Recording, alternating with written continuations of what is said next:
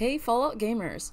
The simple Fallout 4 downgrader has hit the Nexus. This downgrader uses Delta patching to revert the Steam API DLL and the game executable and launcher to version 1.10.163, which means no logging your Steam information into a console. A Delta patch is an update that only reverts the changed files and doesn't require installing them all, so you don't have to worry about downloading all those depots. The requirements you need for the simple downgrader is the latest version of Fallout 4 on Steam, the address library for F4SE plugins, and the backported archive 2 support system. Links will be in the description. Make sure you have loose file override in your mod manager enabled.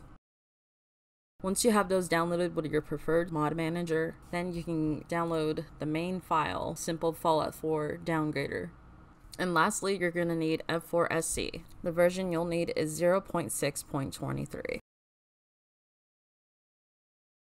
Download F4SE, open the archive, and extract the contents to your Fallout folder, not your Fallout 4 data folder. If you're confident your mods and F4SE is installed correctly, skip ahead.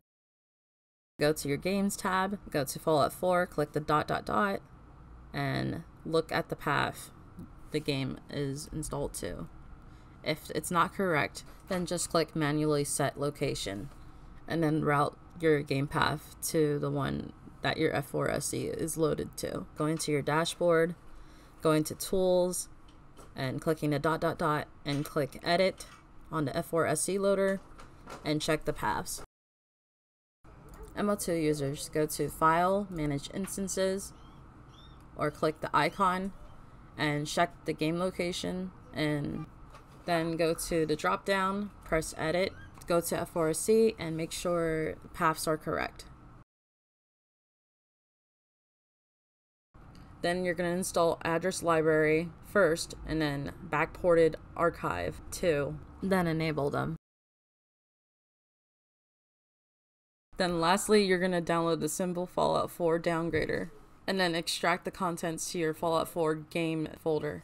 If you use Buffout, disable the archive limit option. And then you're just going to run the exe and bam, you're done. Just load F4SE loader and have fun modding.